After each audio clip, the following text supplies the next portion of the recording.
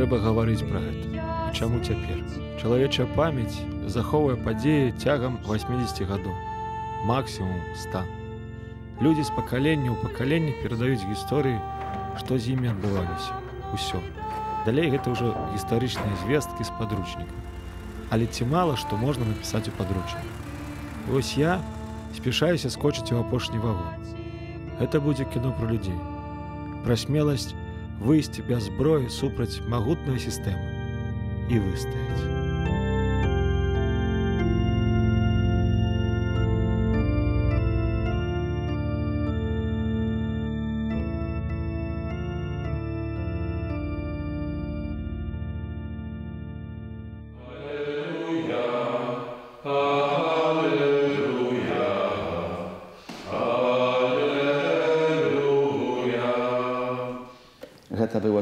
13 мая 1917 года. Маці Божая аб'явіла się u Fatimie. Tak samo 13 maja tego samego dnia u Moskwie, u kościole bezzachannego zaczacia Najświętszej Panny Maryi, jedna siostra monachini prowadziła katechezu. I u ten moment zajeżdżaje u kościoł naczelnik rewolucji, sam Lenin, na koni zajechał u kościoł. Maci Boża kazała z Rosji wychodzić straszny terror, jaki nazywa się komunizm, jaki przyniesie wielmi szmat cierpienia szmatlikim narodom.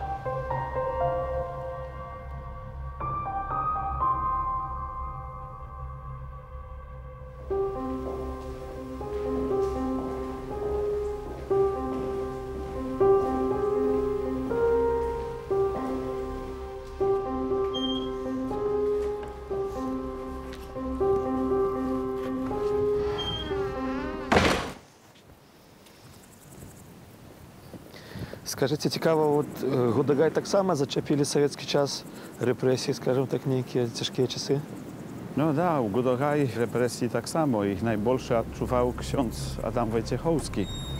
Właśnie zaraz pojedziemy tam u chatku, jak, u jakiej on żył. I tej represji on, jego dat- no, silna ją odczuwał.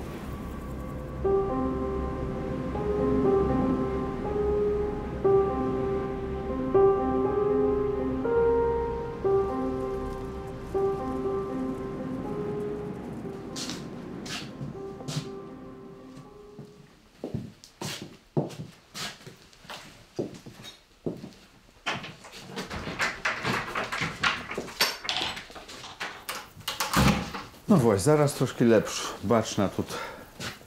Pod Pienawita tut żył u tej chacie ksiądz Adam Wojciechowski. A Krematachosz to ksiądz e, Adam Wojciechowski był znamienitym księdzom achwiarnym, oddanym Bogu i ludziom. No to i on jeszcze był wielmi edukowanym. Wiedał, ludzi kazali dwanadsać moł i nastrannych. Da. Leczył ludzi, znał się na medycynie.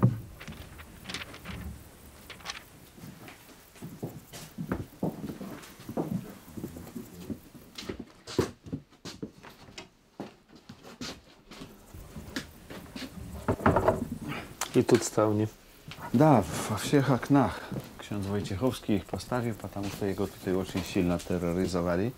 I zbywali jego. I on tak był silno zapuchany, że już apocznie hadyda, że spał nie na krawacie, a w skryni, jaką i potem ubaczym. A woś i Jana. Tu będziecie zdziwiać, co możesz to mianowita u tej skryni y, chował się i spał ksiądz Adam Wojciechowski. Zachodził, nakrywał się tymi, tymi doskami i tak spał. Chodź.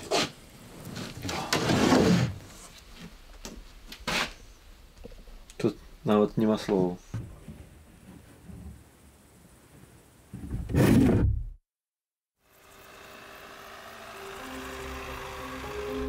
Я згадываю Владимира Караткевича. Бедные, бедные люди, як трава, як каласы под серпом твоим Грубая сила. Система не шкадавала нікога. Адам Войцюхоўскі ведаў 12 моваў, меў медычную адукацыю, а быў даведзена да такога псіхічнага стану, што спаў у скрыні. Гэта як?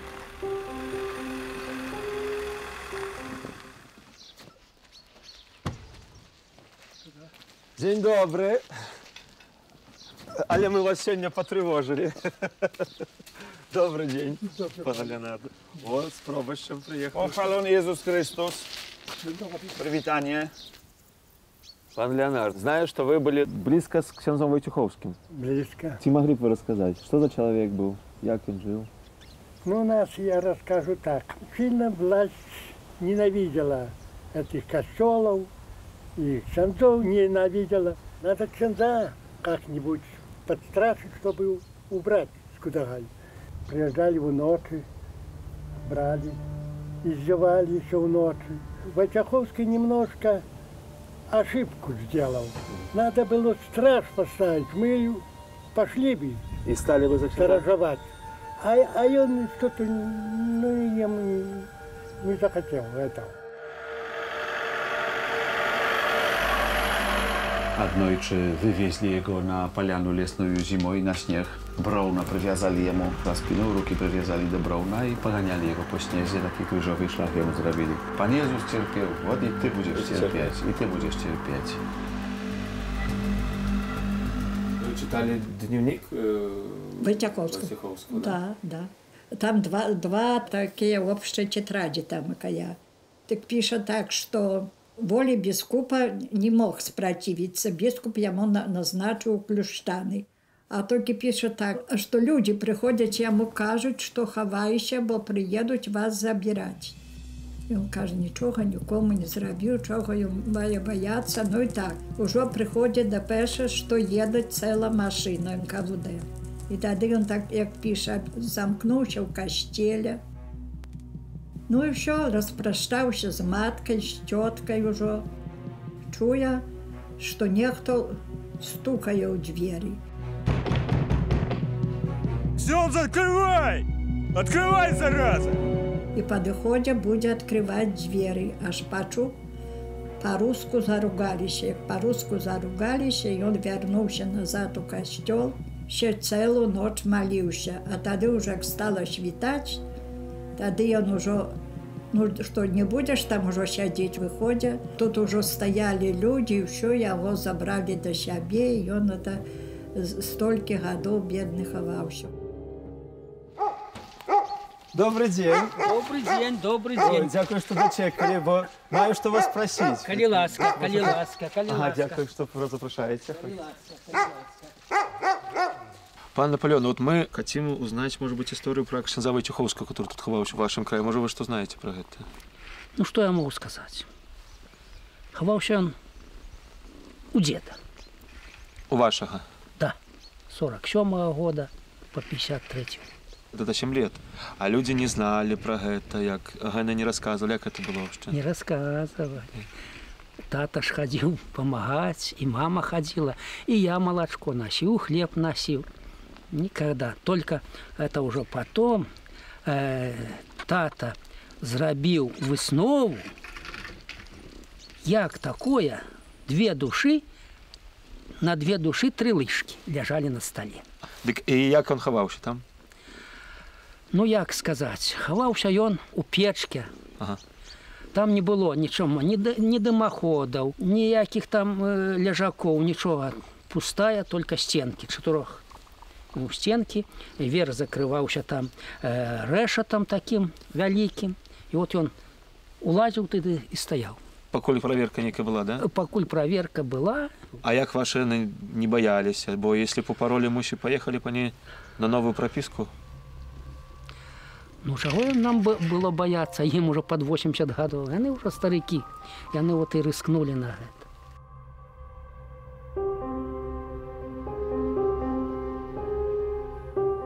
Сем гадоў. Я хачу, каб вы гэта пачулі і ўсвядомілі. Сем гадоў. Адама Вайцюхоўскага ў пячы грубцы хавалі ад арышту прыхажання вёскі клюшчаны. Прабачце, за гэты час дзеці нараджаюцца ў школу ідуць, пакуль ён сядзеў у гэтай самай грубцы. У 53 годзе, калі памёр Сталін, Вайцюхоўскі мог больш не хавацца. але і служыць у клюшчанах яму не дазволілі, бо меў вялікі ўплыў на людзей. Замест гэтага яго адпраўляюць у іншае месца у гудагай. Але і там Войцехоўскі знайшоў шлях да сэрца прыхажанаў і тады атрымаў сапраўдны тэрор ад багаборцаў.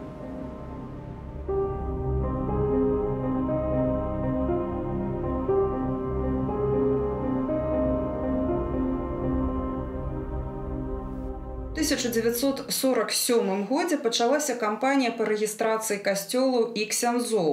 Заключалася такая тыповая дамова аб тым, што касцёл і уся яго маёмасць перадаецца, скажем так, народу, рэлігійным суполкам.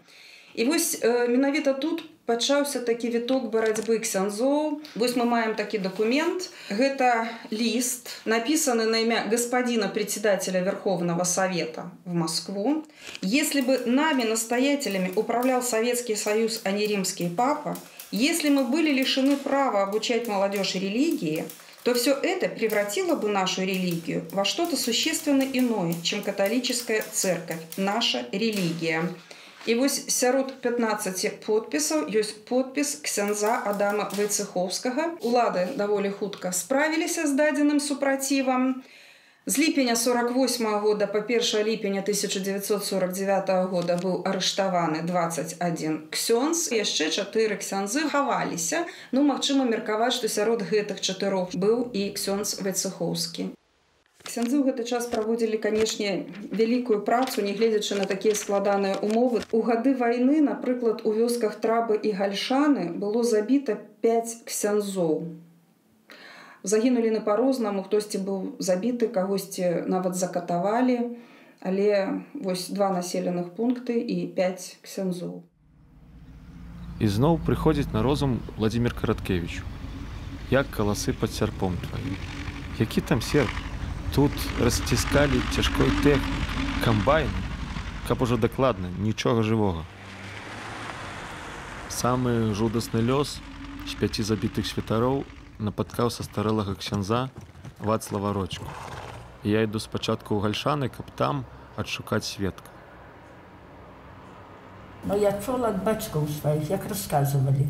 Вот по стороне, як выходит с костела, там стояли кляны. И под клянами были жидовские лавочки, они торговали. А Ксенц сказал после мши, давайте знести эти крамки. И все люди, як вышли с костела, эти крамки все перевернули. Ну и потом Ксенц, наверное, заплатил за это своей жизни.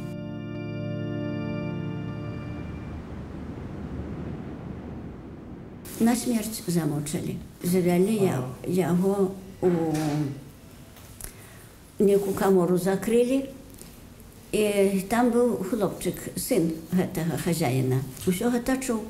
Ён прасіўся, казаў, што выпусціце мяне, я вам грошай дам. Ну ніхто яго не выпусціў, яго сильно мэнчылі. І ў вочы казалі, выкалвалі. А гэта дзіця на раніцы э, пашоў пасвіць каровы і расказаў людзям, што ксяза замучылі у іхнай, іхнай каморцы. Людзі ж зналі, як бы то перагаварвалі адзін з ным, хто, хто ксяза вызваў на гэты. Ну, І як яму жылося, як ён жыў, там што. Ну, фамилия Клинчевича была. Ну, я даже почту носила с ним разом. И он почтальон был, и я почтальонка была. Так на яго поговаривали, что он ксенза вывез и сдал там кому-нибудь. Ага. Но он злый был, как это скажем мы на яго. И говорят, что он даже своего сына забил. Нечаянно. Это может кара якая была, чи что. Орал там, чи что, и говорит, бицами к стебану и, и сына забил. Пачакайце. То бок усе ведалі імя забойцы, а ён працягваў спакойна жыць сярод людзей. Як такое было магчыма? Ці рэч тут у асобе забітага? У тым, што ён быў ксяндзом, а не партыйным дзеячам, А як быў бы камуністам, дык тады пакаралі б таго чалавека? Пытанне, якія, пэўна, так і застануцца без адказу. Ну, Родька одразу пошло по голоску еще, что замучили ксенза. Не может ксенз отказаться, человек помирает. Ну, и сел, поехал, выехал за травы. Сели трех мужчин. Тогда я ему, бедному, уже закачиваюся дух. Трое человек села, но ездили, да, ездили до Росальщины и повернули направо, у лес. І там яны в гэтай хаце мучылі. Ну нехто даў грошы ім, каб гэта зрабілі. Ну і мучылі, сколько яны там хацелі. Павыразалі ўсё. Язык усё і ну ўсё там было павыразана.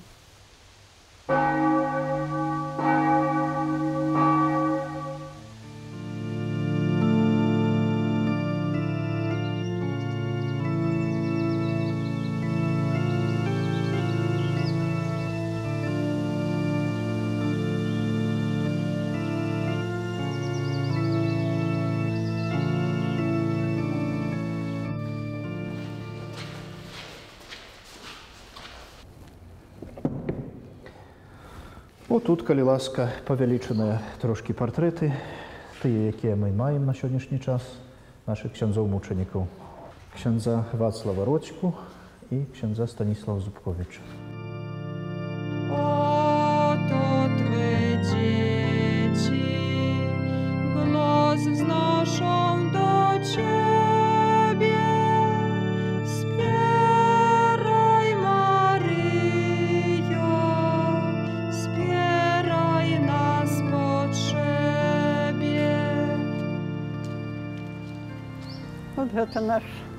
мучанік, ксёндз Рочка, Вацлав. Жыў 65 гадоў. Ну страшне, страшне ўспамінаць. Вечарам прыехалі, да хворага вызвалі. Арганісты перасцерагаў. Ксёндз гаворыць, чалавек незнакомы. Я яго не видел, я тут давно усіх прыгажан знаю. А от яго не видел. Ну, кажа, правда, я недавно приехал, переехали сюды. Ну и, и что ж, ну поехал, и поехал, то и кончилось на этом. Это ў Расальшчыне. Гэта мучэнне адбывалася. Ён спрасіўся у хозяйкі, каб выпусціла. Но яна не выпусціла, пабаялася, што яе заб'юць. Ну і што ж, прапаў ксёндз. Сколькі шукалі яго? Гэтага я не магу сказаць. Ну дождь што ўжо раскладаўся. Дзе-то каля жыдоўскага мольгальніка кінулі на яго і гэтак ён там ляжаў. І потым каровы відочня такім часам, што ўжо каровы па- гэтыя хадзілі. А, так это, Такім- это скотина нашла? Скотина вроде, ну, ну чи скотина, чи той э, пастух, который пасів.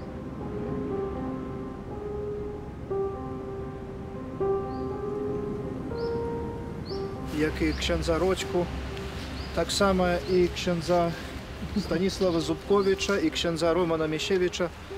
Так само у часе другой сусветнай вайны спаткаў цяжкі лёс. Менавіта аб księdzu Станіславе Зубковичу вядома немнога. Ішоў фронт, мяняліся сілы савецкія, фашысцкія і хтосьці з іх выстраліў księdza. Ну, А, от невядома. не, невядома, не, Китая, другая не, сторона. не, не да памыслу гэта не ўходзіць, каму мяшаў ксёндз, праўда, але ну, видите, былі такія смутныя часы.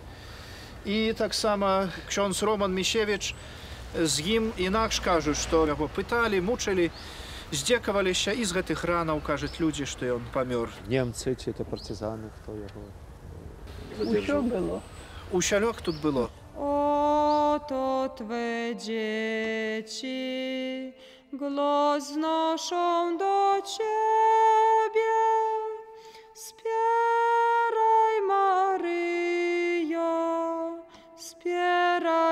Nas potrzebie, o której serca... Зараз я распавяду вам гісторыі у нечым неверагодныя, але яны адбываліся і не былі такі ўжо і рэдкі. Я распавяду, як людзі, звычайныя людзі баранілі касцёл. Чаму гэта здзіўляе і захапляе? Бо калі касцёл абараняе ксёнз, гэта гераічна, але натуральна. Бо ксёнз у касцеле па вызначэнні як капітан карабля, ён не можа яго пакінуць. А тут уявіце сабе простых людзей, сялянаў, мяшчанаў супраць магутнай вялікай сістэмы, супраць дзяржавы. Мы знаходзімся ў касцёле маці Божай жанцовай святого Дамініка, вельмі прыгожы касцёл. Але у 50-е годы гэты касцёл быў э, насильна забраны праз савецкую ўладу. Касцёл баранілі. Ну зноў жа баранілі гэта ў асноўным жанчыны пенсіоннага ўзросту. Нават былі некаторыя пакалечаныя жанчыны касцёл забралі. Цікавы вельмі ніколі не былі знішчаныя крыжы на касцёле. Ніхто не адважыўся, каб падняцца на высоту 50 метраў і знішчыць гэтыя крыжы. Таму заўсёды было вядома, што гэта ёсць каталіцкі храм. У гэтым касцёле была майстэрня грузавых машын калгасных. Праз нейкі час гэты касцёл замянілі на зернасховішча. І тут заязджалі машыны, падводы.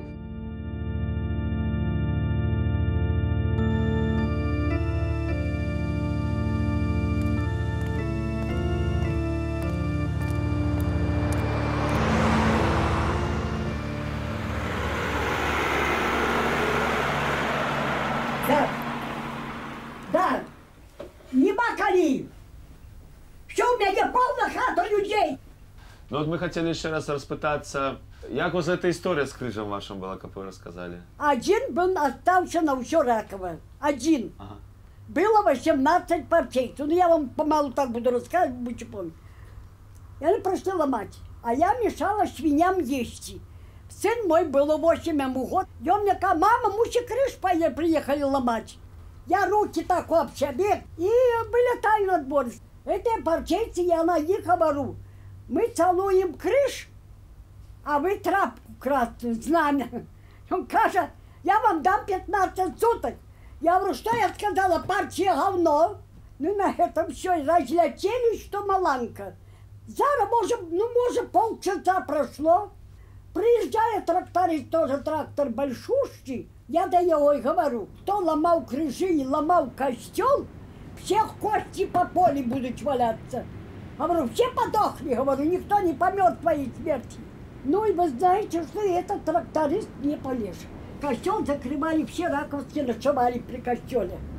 А потом в ночное время приехали, это крестоломцы, и, а мужчин позбивали, ой, І мужчина вбили. ой.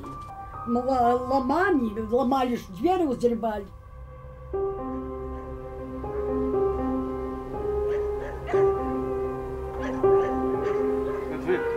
один, один, кто в Ракове отбили крыш, да? Все позломали. Все позломали.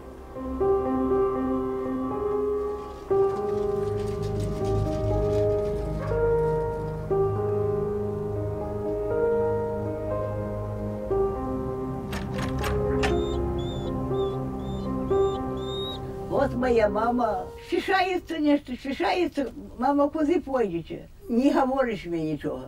І, і вийшла з хати і пішла. Выбегла я на улицу, идет женщина. А мама твоя уже пошла. Я говорю, пошла, але куди пошла? Ти вона каже, а що вже будуть відбирати? Я быстрей оделась и, и до кош- под костел. А там уже женщин много, а мужчины со два только. А их, этих коммунистов, нашло уже а, двері відчинять. А як хвачуть одну женщину, як ганок високий, як попущуть през ганок, лежить одна, плачучи, побитая, другая побитая. А я свою маму як хватила, вот так колотилась и тримала целыми силами, как я її не скинули з ганку. Страх е, за маці у пані Руфіни був недаремний. Одной з тих кабет, яких скинули з ганку, зламали хребетник. Яна засталася інвалідам на ўсё жыццё. Рух и сломали двери. Уже бы укленчили, стали плакать. А потом один уж лез мужчина на, на, на амбону, сутану ксантовскую надел, и стал проповедь говорить. Дорогие прихожане, там, то, ну и что вы думаете? Сколько он пожил? Может, и день не пожил. Д- Заболел, ве- до Минска не довезли, Любинский такие, помер в дороге. Вот як, одеть лезьте на тую амбону, где тебе не положено.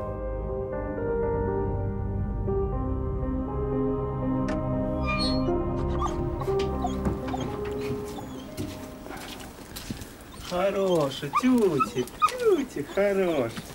Ай-яй-яй, ай-яй-яй, хороший, ты хороший, тютик, хороший. Ну от ну все, все они взбудоражили. Была там ста- стация, дор- дорога Кшижова.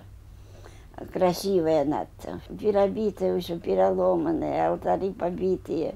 А люди не, не, людям не удалося там не сховать, занести? Трохи ховали, у мяне хавалася трохи арнату. Я попросила столяра, тут сусед.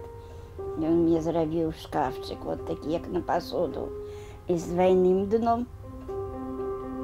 І мне в эти шкафчик я клала, накладывала все эти орнаты и берегла. А потом вы их уже вернули, да? Верну, конечно. В 93-м году. На Великанец мы уже перешли в этот костел с процессией. Пришли в костел, тут, где вот сходки, тут было залито асфальтом. Ну, а там разбита подлога вся была. Ну и так мы почали, як той казав, по крошці збирати той костюм.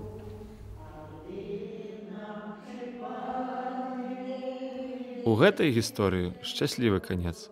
Касцёл у ракаве ўсё ж вярнулі вернікам, хай і праз шмат гадоў. Але думаецца вось пра што. Чаму тады у 50тыя такая магутная і страшная сістэма проста не знішчыла гэтых людзей, якія мелі смеласць бараніць касцёл.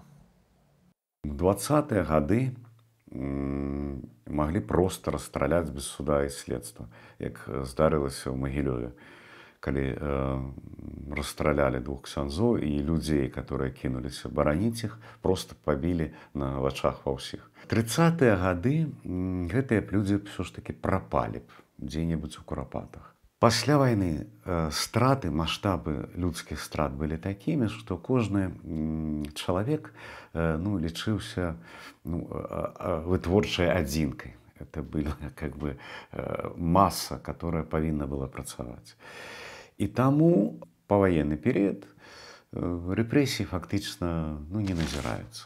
Кашмарная сітуацыя склалася ў валожання. Касцёл дзейнічаў, але старшыня калгаса, некто красильников Федор Михайлович завез бульбу і заваліў у труны э, у крыпту касцельную. І жуткія падрабязнасці, што былі вывернуты чарапы, косткі шкілетаў, то бок с асобым цынізмам, дэманстратыўна старшыня калгаса прадэманстраваў вернікам іх месца в савецкай дзяржаве. Panie skalana, proś za nas Boga dobrego. Палітыка Масквы ў дачыненні да каталіцкага касцёла сягае сваімі каранямі яшчэ 19 стагоддзя. Нічога новага бальшавікі не прыдумалі. А, Яны працягвалі тую царскую а, імперскую традыцыю знішчэння татальнага тутэйшай ідэнтычнасці і все, што не падкантрольна.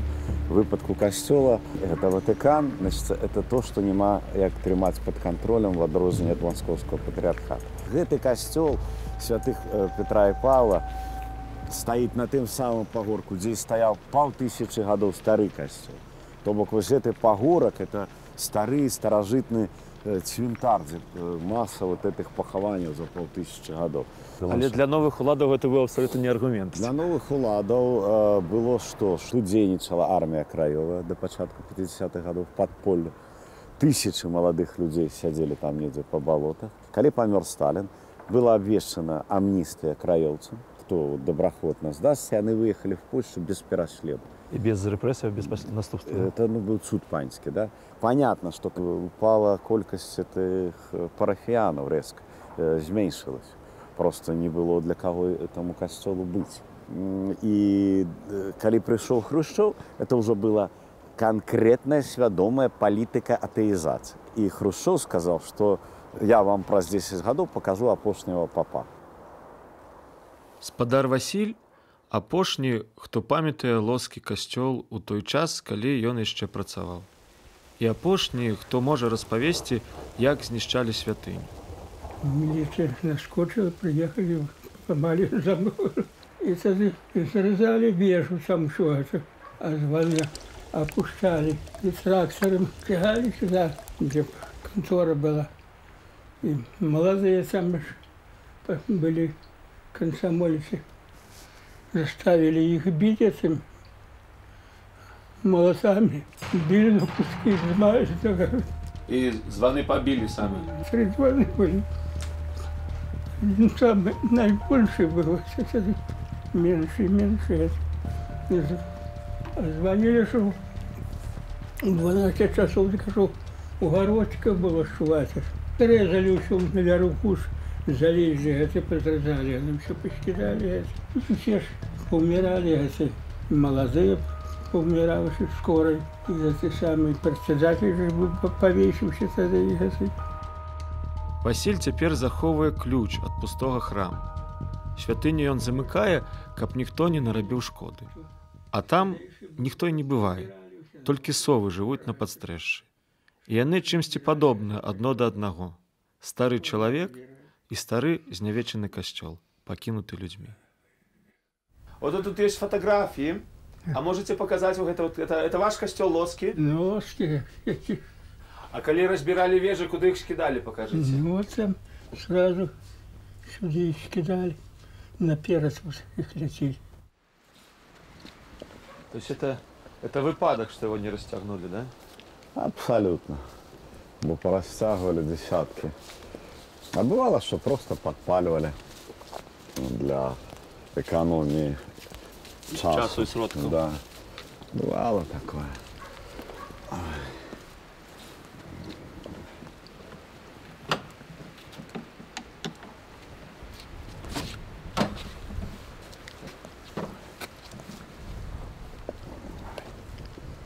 А от цікаво, ввогуле, м, можна було казати про які методики там знищення таких от об'єктів? Чи це якби було, як, як це пішло, так і пішло? Машину подогнали, скористались? По-розному, по-розному, Наработок и всё. по-розному. Есть распаўсюдженные персонажи, некие приезжие там комсомольцы, которые крыжи взрывали, и которые поводле этих апокрифов все кепско скончили свое жыццё. Зазвычай это рабілі самі людзі. Я б ставіўся да гэтай праблемы з разумением, что такое там паваенная Беларусь, спаленая вся дашчэнта.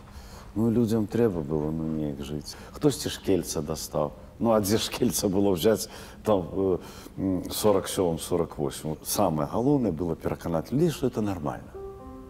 Што э, пусты зруйнаваны храм, з якога вы можете что-то браць, что это норма. Гэтым, мне падаецца, галоўнае злачынства савецкай улады, якія дапусцілі у масе людзей думку, што брыда запусцення это норма. Ну а пасля гэтага ўсё астатняе. Тады ўжо не толькі ж касцёлы, тады ўжо все гэтыя замкі, Всё, гарады, замкі, это ўжо ўсё ўжо, палацы. могілкі, в якім страшна выгляд. Это ўжо тады не рэзала вочы.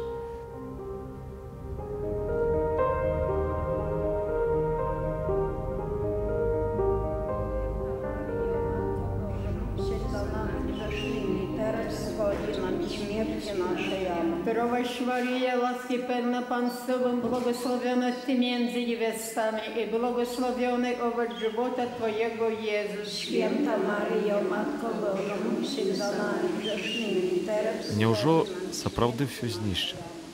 Няўжо вось так можна забраць у нас нашае, зруйнаваць, апляваць? Ды не. Пачакайце. Хадзем цяпер у дуды. Час паглядзець на незруйнаваныя святыні.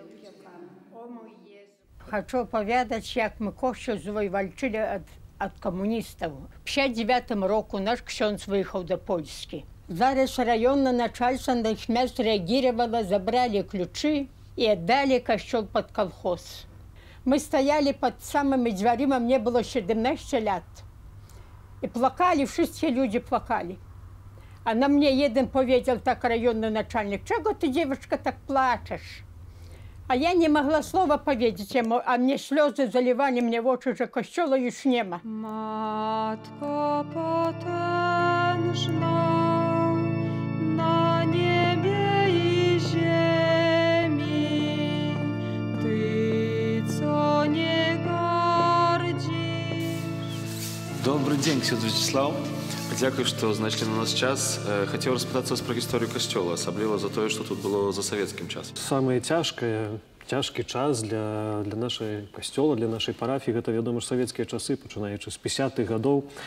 А, Калі святыня была забрана ў вернікаў, калі спачатку зрабілі зернасховішча ў святыні, потом склад угнаенняў, і менавіта вось тут у гэтым месцы ў святыні э, трымалі трымалі розныя рэчы, якія не павінны быць, скажам так, у святыні. Самае галоўнае тое, што ну, захаваліся аўтары, што аўтары былі тут, у гэтай святыні. І прыехалі адзін раз цэлы аўтобус з Мінска. Далі мне такі да- дакумент. Прачытайце дакумент, тут прасядач райсполкома дае нам права выбраць усё з вашого касцёла. А я мовім, я не мам права вам аддаць. Я не буду чытаць таго документу, але не аддам вам ніц на аўтаж велькі залячала една така паненка і таким ломам дужым і вырвачила ten образ. Як я взлетіла на ten олташ і мовю, як я виглядала, я не wiem. Але я powiedziała jej, jeżeli ty wyrwiesz ten obraz, ja ciebie zrzucę z tego ołtarza, rozsypiecie twoje kości. Jeszcze jeden człowiek przyleciał, taki był inwalid Augustyn Grzybowski. I my z nim wygnali tych usich, nie dali nic im.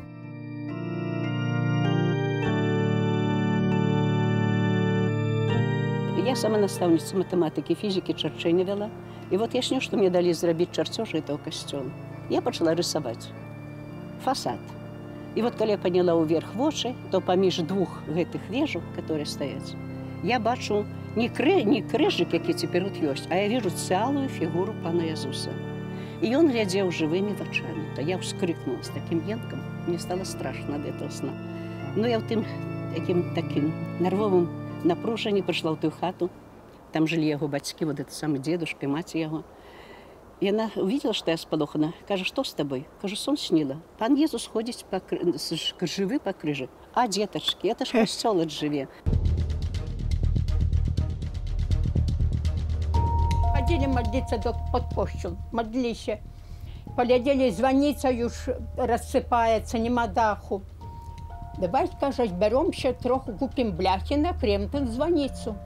Собрались люди, накрили звоницу. Ага, охамянувся председатель районного начальства. Як же ж вони взялися, вже будуть, зараз кощу будуть крити. Приїжджають 20 міліціонерів, суточники, з того районного що начальства, председатель колхоза наш приїжджає. Они были приехавши с трактором уже, и трасы взял все, сорвать алтарь, все. Як собрались люди, уже не, не, не стали давать, не пускать трактор, как по костюм въехал. Так я на сына кажу, кажу, принеси фотоаппарат. Он прилетел, принес фотоаппарат. Я фотографировал. Потом он мусит трохи штолкнул. Тогда я глядели, что я фотографирую. Да меня хотели, меня аппарат хотели забрать. Знаешь, ну, засвятить хотели, помню, позже. Люди уже позбирались, знали, что кажу, бомбежка приедет. Ну, не называй таким словом. И они зага- загоняли трактор, хотели загнать в кощелку. Справа в тым, што тут бульбу перабіралі, а якраз тр- э, кам- э, гэты шафёр вёз цэлую машыну жанчын, которые ехалі перабіраць бульбу. І яны ўсе вот на хаду скакалі з машын. Ён тады ўжо мусіў остановіць. На яго тады крычалі, чаму ты супыніў, але ён кажа, яны ж позабіваліся. ну, тут начали наказывать людям, как уже с других вёсков приехали. Кто чуть-чуть при власти был, тот не шел. Понимаете? Только это простые рабочие. Потому что боялись, что снимут с работы. А потом люди... А чего мы боимся? Это наше. Мы же ничего не берем лишнее. И все, дружно взялись. А кабеты полегли под трактор. Jedni ляжатся под трактор, другие ложатся на колы передние. Так, трактор идет до, до пшоду, а кабета отпихает до тылу. И так пхали, пхали сюда туда, ten тракторист вылез, говорит, я людей не буду душить, не буду. Залазить председатель колхоза уже в трактор, он поедет. Люди wszystko jedno ложатся, лежать як мост. Одну тягнуть за руки, кабету, другая ложится на это место. Ниц не дали рады. Били еще милиционеры нашу кабету рукопашную. Малышей детей. Значит, четверо. Вот, или более. Да. матки положили матери, такого ужаса, такую войну такой не было, как если так. И вот из-за этой всей людей, команды, что так дружно, чтоб не дружно было, и что-то испугались, косела у нас не было. І забрали кощел свой. Але найперв księdza не давали 8 лет, я проводила набоженство в тим кощелі. 8 лет сама, люди збиралися дуже. То ми їздили то до Москви, то до Гродно, то до Мінська. Нас уже називали там ходаками, то ми вже надоели їм там їздили. До... Але dzięki Bogu odwalczyli swój kościół. My, cie- my teraz cieszymy się, że mamy kościół, że mamy Жанчына, якая 8 гадоў ладзіла набажэнствы. Людзі, якія клаліся пад колы трактароў, абараняючы алтары ў касцеле. Хто яны? Вар'яты, святыя, героі. Круціцца пытанне. Адкуль у гэтых здавалася простых людзей такая смеласць? Ну, Вот именно здавалася б простыя людзі, а няма простых людзей. І кожны чалавек гэта герой. І тут яны просто паказалі, што для іх Бог важнейшы, чым людзі. Яны не баяцца людзей, але баяцца пакрыўдзіць Бога і таму адстойвалі тое, што, што было іхнім, што ім перадалі продкі.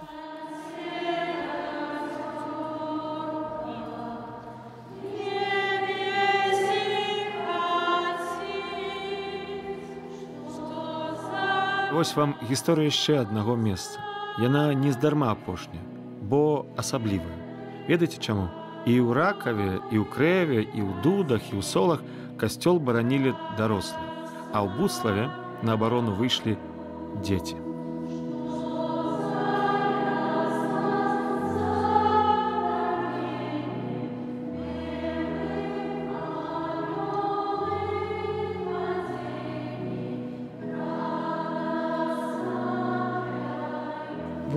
Польское надто пекно было убрано. После, как до нас пришли в 41 году русские, так погодки были рубашки долгие, страшные.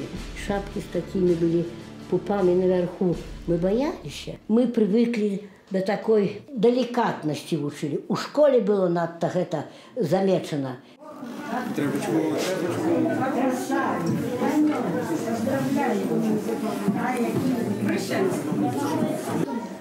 А это вам пошли дома сукенки цветут. Дома? Маленькие девочки вот эти вот с дома платье принесли, а все остальное нам. Да, это, конечно, принцессы такие. Вот, а там... Да.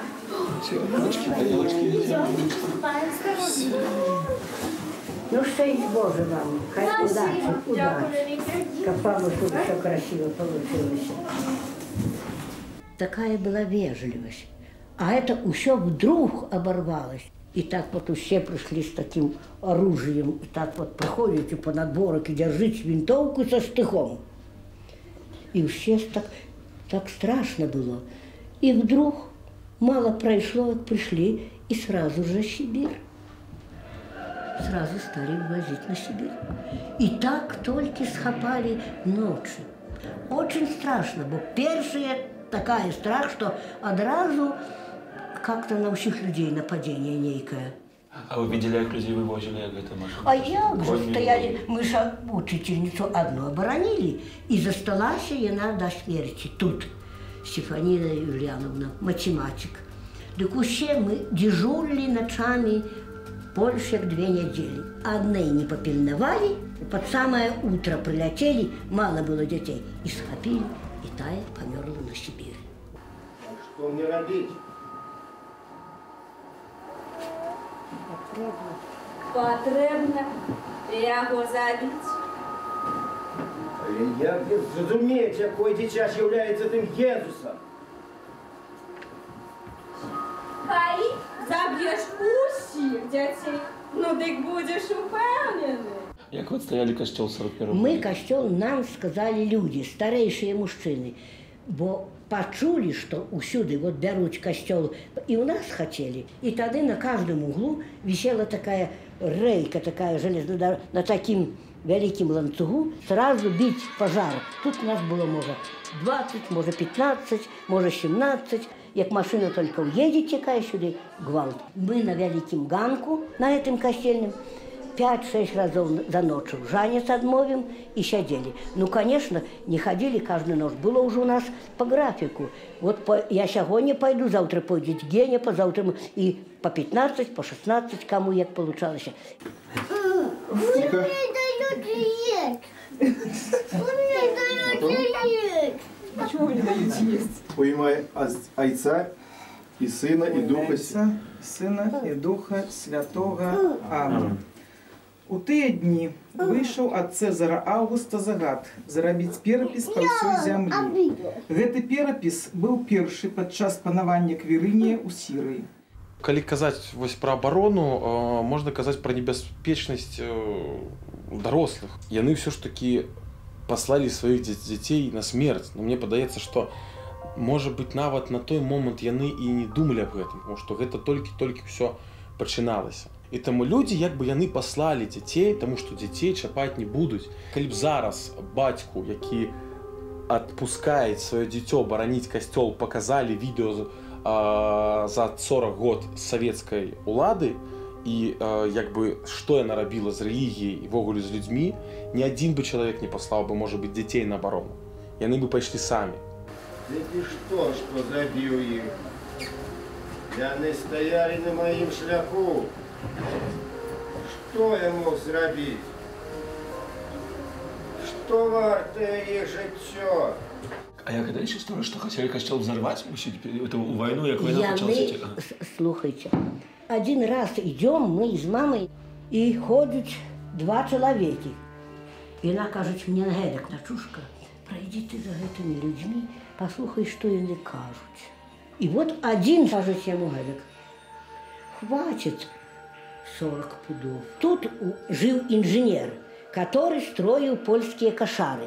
После этой инженера, як пришел до пани Брониславы, дык яна давала ему есці, яна яго кормила, а мама кажуць моя гэтак, а хай бы ты запыталася в яго бруніся, што гэта яны гаварылі. Можа, якую помощь будуць даваць гэтым дзяцём. А яна гэтаму інжынеру ўсё-таки сказала, што дзяўчына кажуць нешта чула, дык ён кажуць, пані Бронислава, to jest bardzo straszne, ale nie trzeba to. Pan Bóg ma wszystko w opiece, Matka Boża ma, ma opiekę. И все. Оказывается, после, что была наготовленная машина, была положена взрывчатка, и эти инженер зник, и машина взорвалась там. Все, более ничего не знаю.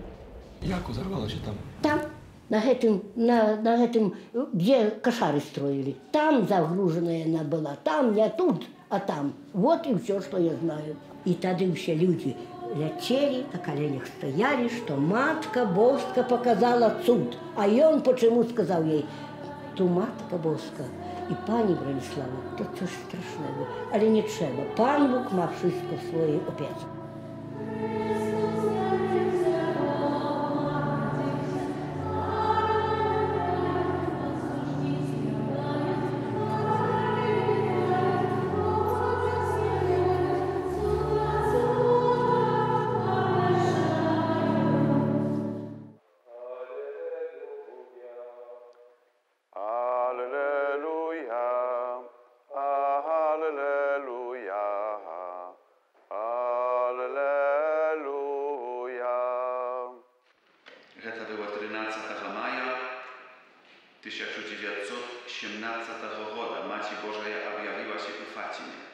Маці Божая казала, з Росії виходить страшний террор, який називається комунізм, який принесе вельми шмат терпіння шматликим народам. Ось і ўсё. Савецкая дзяржава скончыла сваё існаванне, а касцёл працягвае жыць. На палетках зноўку вырасла рунь. А значыць, будзе жыццё. І недарэмна ўсё было. Недарэмна.